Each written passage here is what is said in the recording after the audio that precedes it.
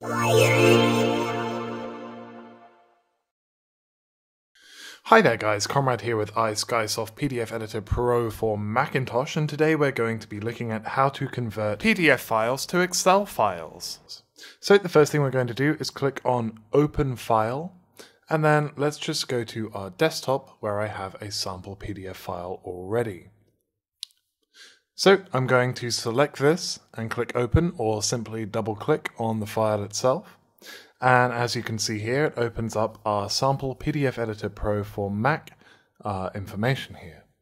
So the first thing we're going to do is just note that we could click this edit button here and be able to have a look through and edit the text. As you can see here, I'm deleting and changing the, the uh, text here.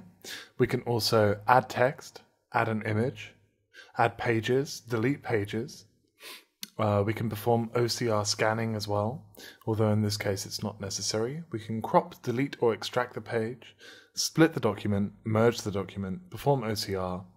But in this case today, what we're going to be doing as I look through the highlights here, so add a sticky note, add or edit a link, add bookmarks, we can uh, draw arrows, draw a freeform, or add a stamp, change the color of text, the fill, the stroke, the stroke width, the line attributes, and also the font format.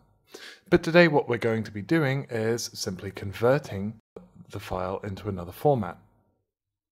So we're going to be just clicking on the convert button on the toolbar here. That's going to launch a new dialog box in which we have a number of options. So the next thing we can do, we can just click on the uh, OCR button if we wanted to enable OCR character recognition scanning.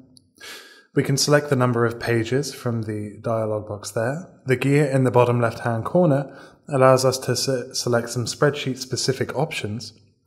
In this case, we can just uh, change that there or select to have every page be part of the single workbook. Let's hit close on that window and ensure that we have selected Microsoft Excel. Spreadsheet, we can use an XLSX or simple XLL, uh, XLS file there.